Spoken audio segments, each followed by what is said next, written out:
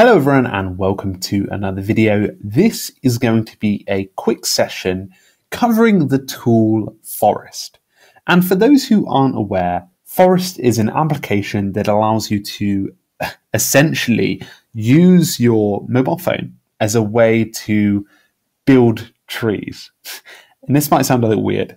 Um, so the idea of this application is for you to reduce your phone usage across your day uh, when you're trying to focus on a specific task and allow using similar techniques to the Pomodoro to time how long you spend on a specific task and allow yourself to focus in on that specific task. So this is something that obviously is available from iOS and I did do a review so I'll quickly give a snippet to you. I just exited the app uh, go back to forest immediately to prevent your tree from dying. Okay, so it's notified me already that if I don't go back, that tree will die. Okay, that's cool. Um, maybe if I wait a little longer, that tree will go and get killed actually. Because um, I kind of want to demo it to be killed.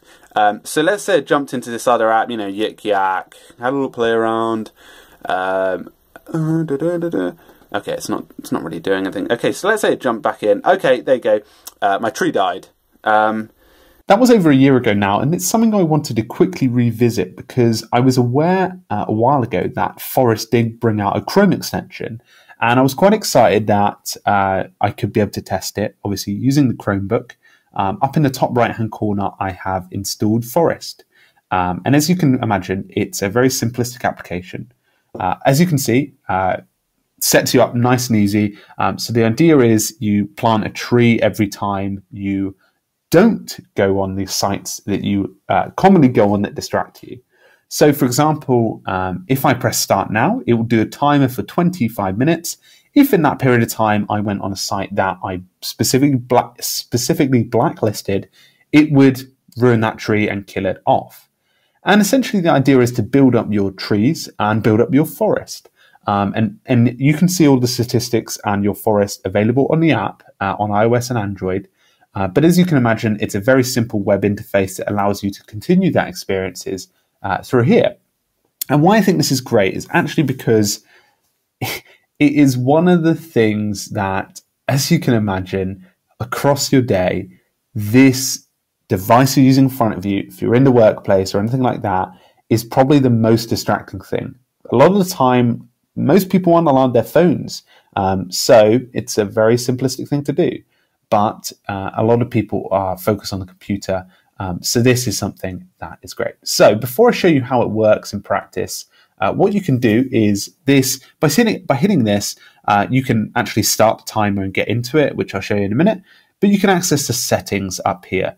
Um, so I'm just going to press into the settings. I've already done that. You get you know a simple display. First thing I would recommend is connect to your iOS Forest uh, account so that you can sync everything. So I'm signed in here. Every time I do something on the web now, it'll basically uh, go over to the Forest account um, on the iOS and allow me to see all of the stats there, which is quite nice. So I can't see, one thing I can't see is all of the stats I've made so far. So obviously it's a bit of a kind of torn experience. Links to the other apps here.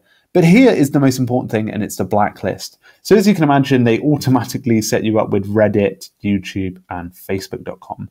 But let's say I didn't want to visit Twitter.com. Very simple, as you can imagine, just type in Twitter.com and it auto highlights it as something that you're not going to go into.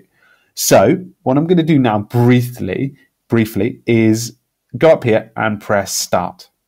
So this essentially allows the, the, the, birth of the tree. So as you can imagine, you can go off of that. Um, and let's say I went over to twitter.com. So wait till the page fully loads. Da, da, da, and then I'll go back over to forest settings. Just check in, and yeah, the tree died. Uh, and as you can imagine, they got some nice sharing buttons, and they've got a back button to allow you to kind of go a bit more detailed. But let's say I wanted to, to change specifically the time that I had associated to this, so I can change it up to a whole, keeps going for ages, a whole two hours. Um, and what's nice about this as well, so, so let's say I'm on a site that I don't want to specifically type in. So let's say I'm on Trello and I don't want to go into Trello for some reason. Uh, what's nice is if I'm on Trello once it loads, uh, you can bring up the Forest Chrome extension and simply hover over. Uh, obviously, when you're on and that like you've loaded it up, you press that, and it added the current site to the blacklist. So if I refresh this page, drumroll, Trello comes up as something on the blacklist. Very simple way instead of having to retype out on the blacklist every time. So if you can imagine, you're going across your day, you're like, oh, I'm spending too much time on here. What I'm going to do is I'm going to blacklist that and actually have that as something I'm not going to go on.